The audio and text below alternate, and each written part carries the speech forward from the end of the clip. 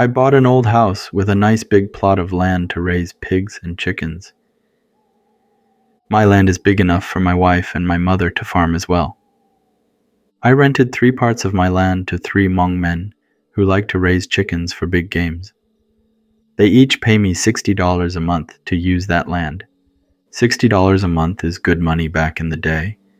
As I started having more and more animals, I spent a lot of money fencing my big backyard to protect them from coyotes. That area has lots of coyotes.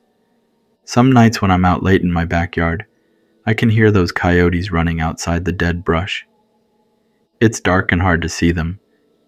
But every time I flash my light at them, I can see those glowing yellow eyes looking back at me. There is a reason I don't keep a dog. It doesn't matter how big the dog is, he is no match for a pack of coyotes. Dogs can be stupid and impulsive. Once they decide to chase a coyote, the coyote will lead them to the pack and the dog will get torn apart.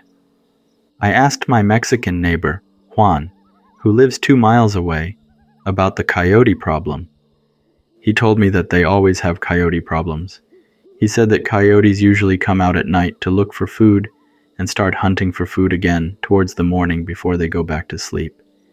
He told me that he and his son would go hunt for coyotes early in the morning, around 4 or 5 a.m. I asked him if I would get in trouble if I killed a coyote. He said, according to California law, you can kill coyotes. Coyotes are like pigeons and rats. You can kill them and throw them away. One early morning, my wife woke me up and told me that something was attacking my goats and for me to go check. When my wife said that, I could hear one of my goats screaming.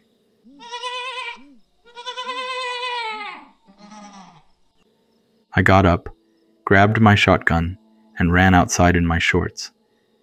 I could see blood on the dirt. I followed the blood to the fence and saw that the coyotes had dug a big hole underneath my chain link fence. I could see some blood and hair stuck on the fence. I stopped there. It was still too early, and the sun was not even up yet. I slid a board under the fence to block the hole so the coyote couldn't come back inside. Then I went to check on my goats and realized that the female goat that had just given birth to two babies was gone. The two baby goats were okay though. When the sun rose, I grabbed my hunting rifle and opened the gate to the outside. I started tracking to see where the coyote could be taken my female goat. I followed the trail and came to a spot with some tall brown grass and saw blood everywhere with some animal hairs. It looked like she was eaten by a pack of coyotes on that spot. I just stood there and looked at the bloody grass. If it was any other goat, I would have been okay and just let it go. Considering that I live in coyote land, I could accept losing one of my goats, but I couldn't believe that it was the female goat who had just given birth to two baby goats. I decided to look around the area to find where the coyote hideouts were. There had to be some hideouts because there were so many of them. I kept walking and heard what sounded like a creek, because I could hear water flowing. When I got closer to the creek, I saw an old pink and dirty mattress on the side of the creek. The water level where I'm at is very shallow. I crossed the rocky creek to the other side. After walking around looking for coyote hideouts, I saw something moving underneath a shaded tree. Underneath that tree was a dry log. I could see something moving. I thought it was probably squirrels. But when I got closer, I saw a mother coyote jump out, run a bit farther, and look back at me. I aimed at the mother coyote, but something caught my eye.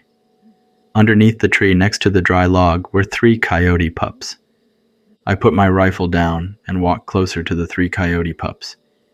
When I got closer, the mother coyote ran towards me, but turned and backed away. I figured I'd mess with the three pups to get the mother to come closer. One pup actually ran towards me and started chewing on my boot.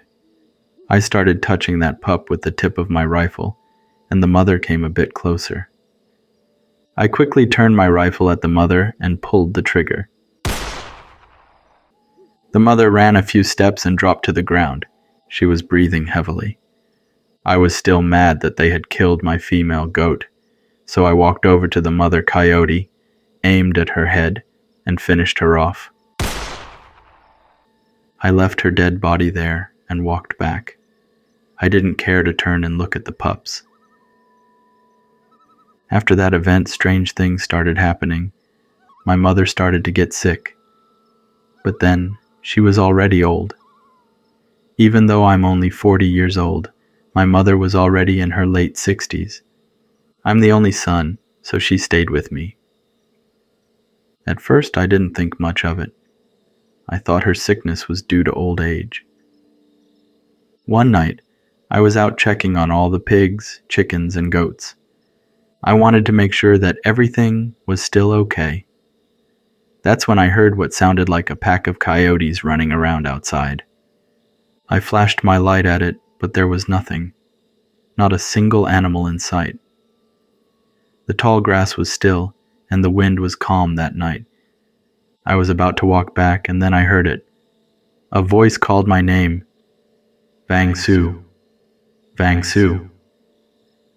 I flashed my light again, but there was nothing outside the fence. I thought I was just hearing things, so I went back inside our house. The second night, the same thing happened. I made sure that all the animals were locked away and that there were no holes underneath my fence. I flashed my light outside, and there was nothing. No coyotes, no animals. It was another calm night. I was starting to walk back to my house, and then again, Vangsu, Vangsu. This voice sounded a lot like my mother. I turned back and flashed my light, but there was nothing. I went back inside to check on my old mother, but she was already asleep. When my mother was still walking around, she kept bumping her toes on the base of the bed frame, so we put the bed frame up in her closet. She was just sleeping on the mattress without the frame. When I saw that she was sleeping, I closed the door and went to bed with my wife. The next two nights, I didn't hear anything. No coyotes, no wind. I would lock the animals away, make sure there were no holes underneath the fence, and then go to bed.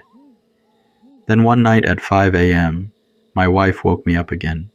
She said, Honey, sounds like something is attacking or scaring our animals. Once I was awake, I could hear one of the goats screaming and calling.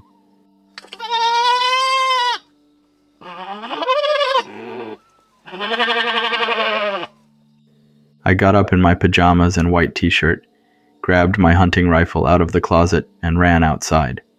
I could hear the crying of my goat getting further and further away. I didn't need to check to see if there was any hole underneath my fence. I knew those coyotes probably dug a big hole again. I opened the gate to the outside and then closed it. I ran after the screaming of my goat. I fired a few shots in the hope that the coyotes would get scared and let go of my goat. After I shot a few times, I could hear running water. I was close to the rocky creek again. This time, I could hear that the goat wasn't being dragged. The scream was calmer and was just coming from one spot. Maybe my shot scared the coyotes away, and maybe they left my goat by the creek. However, this time the goat sounded a little different. It didn't sound like a goat crying or screaming anymore. It sounded like a human. I slowly approached the sound. Part of me thought it sounded like a human, but part of me also thought that maybe when a goat is about to die, they sound like that. I continued to walk slowly, moving tall grasses out of the way. Then up ahead, I saw a person with long hair sitting on the dirty pink bed on the edge of the creek. That person was leaning towards one side. The person's skin looked yellow, and her long hair was blocking her face. She wore a black long sleeved shirt with blue stripes. Her shirt had buttons, but it was open, showing her stomach, and her breasts were drooping down. She was just sitting there like a drunk person. When I saw this, I just turned and power walked back home. When I got home, it was already dawn. Honestly, I had no idea what I saw at the creek. Maybe it was too early, and I was just seeing things. When I got back, I opened the gate and went back inside my yard. As the sun began to rise, I looked around my fence and saw no holes at all. I went to look at the goats, and their gate was still closed, and there were still seventeen goats with the two new baby goats. Not a single goat was missing. The one that was missing was the mother goat from the other day. I went to check on the chickens and pigs, and they were okay. That was so strange. I swear this morning my wife and I both heard what sounded like one of the goats being attacked. Then I thought to myself, maybe whatever was calling me for two nights was just trying to make me go outside. There were no coyotes for a few nights. When I thought that, I got a little scared. But I know that living in the countryside is bound to have strange things happen. I have a good business, so there's no way I'm going to stop my business because of a little scare. I went back inside to shower, and then after that, I sat on the couch watching TV and fell asleep. Before I knew it, my wife woke me up for breakfast. I got up to sit at the table, and then my wife told our two kids to go wake up their grandma. Our two kids ran to their grandma's room. After a few minutes, they came back and said, Mommy, Grandma is not waking up. My wife got up and walked to my mother's room. I was eating when I heard my wife crying and mourning. I got up and told my two kids to eat and stay there in the dining room. I told them not to come to the bedroom.